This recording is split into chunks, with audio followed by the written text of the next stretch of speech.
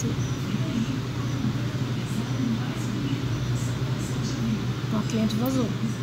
Ainda bem que só tinha ela aqui dentro. né?